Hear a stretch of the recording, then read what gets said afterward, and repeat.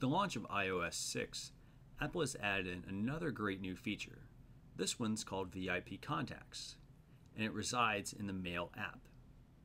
VIP Contacts are for those people who email a lot of people but want to be able to see certain emails from individuals. So this way, you know, they don't have to sift through all of their emails. So how do you add VIP contacts? Well, if you're like most people, you probably go into the Contacts app and try to add them this way. I'll tell you right now, there is no way to add VIP contacts within Contacts. It's a little bit perplexing, but there's an easier way. So, what you want to do is you want to go into the Mail app.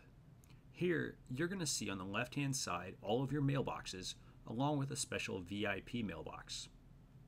If you don't see this, you're probably looking at your mail the normal way where you have a list of all of your messages.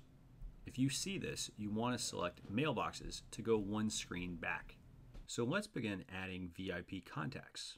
To do this, you want to select the right arrow. This will bring up a list of all of your VIP contacts. If you don't have any, you're only going to have the Add VIP option.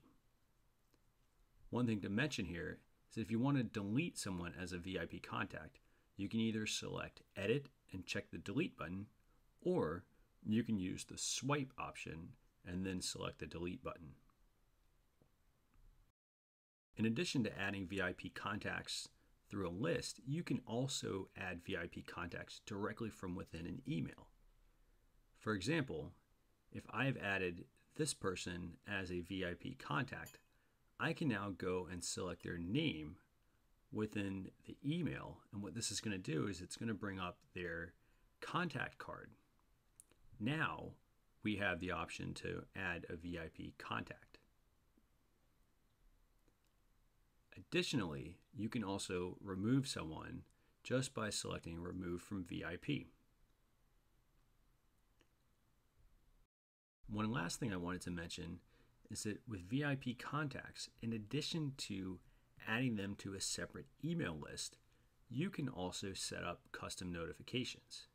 Here, we're going to go back in and add this person as a VIP contact. Within the VIP contact list, you also have one additional option, which is VIP alerts.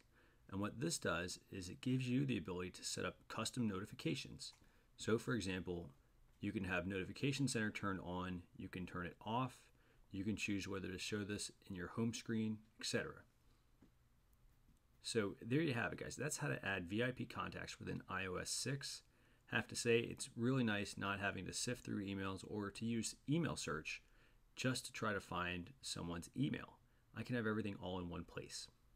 So, should you have any questions on doing this or you get stuck along the way, feel free to send me an email. As always, thanks for watching.